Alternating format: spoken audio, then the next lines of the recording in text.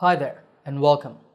In this lesson, I'm going to share with you five things that you need to practice every day to improve your English. These are the same techniques that I use personally, and I have seen them work for many of my students. And if you develop these daily habits, they will make you a fluent and confident speaker of the language. So let's talk about them.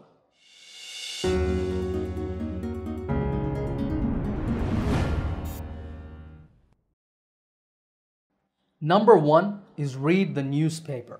Of course, I mean an English language one. The newspaper is a rich source of vocabulary and general knowledge, both of which are important to become a fluent speaker of English.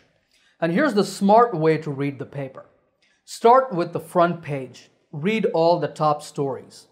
Then go to the other news sections, local, national, and international, and read the headlines.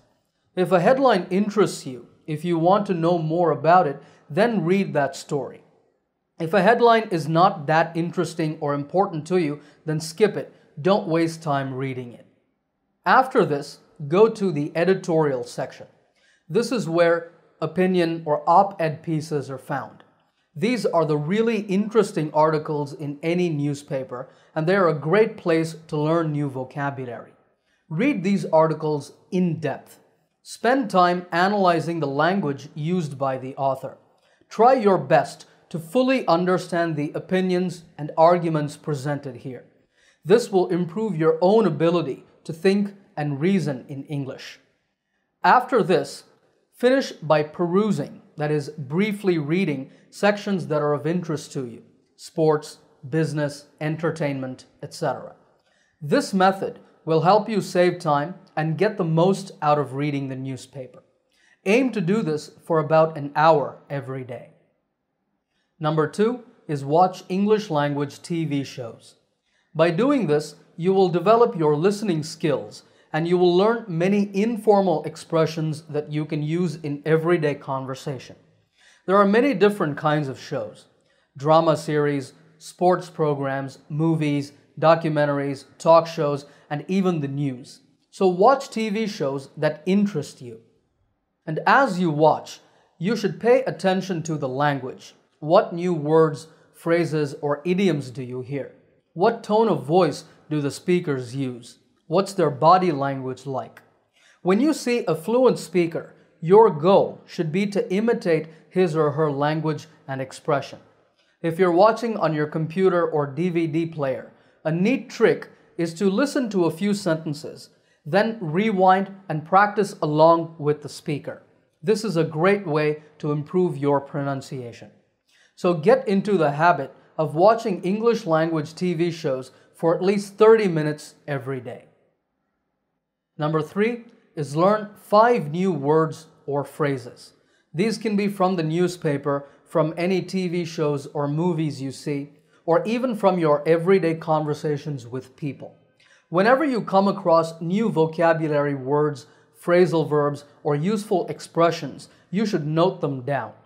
You can either do this in a notebook or in a file on your computer, like a Microsoft Excel spreadsheet. That's what I do.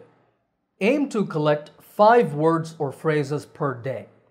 And when you write them down, also write their dictionary definitions and some example sentences.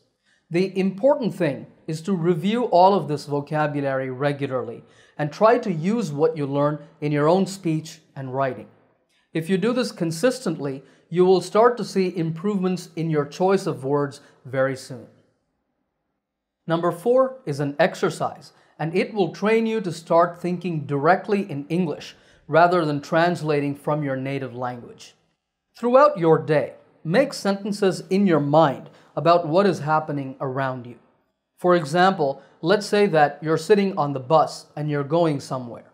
In your head, you can start talking in English. I'm so glad I got a seat. It would have been so annoying if I had to stand for the whole ride. Look at that couple sitting over there. They look very happy. They're joking and laughing about something. Anyway, let's look out the window. Oh, what a beautiful park. I wish I could visit it sometime, and so on. You can do this in any situation when you're at home, when you're bored at work or school, when you're waiting at the doctor's office, when you're taking a walk. Do this exercise many times every day. Make it a habit to regularly make English sentences in your mind. And number five is recap your day. This is an exercise you should do at the end of the day, maybe just before you go to bed, or you can even do this as you're lying in bed before you sleep. Imagine that you're telling a friend about your day in English. Say what happened in school, in college, or at work. Give as much detail as possible and make your descriptions interesting. You can also talk about what your plans are for tomorrow. Aim to do this for about 5 to 10 minutes before you sleep. What I like about this exercise is that you can do it at the same time every day, which means it's very easy to make this a habit.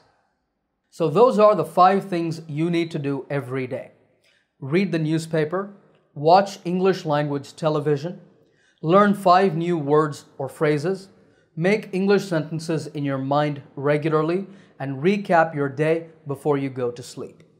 If you develop these habits, you will become a more fluent and proficient user of the English language. So, are you going to start doing them? Let me know in the comments.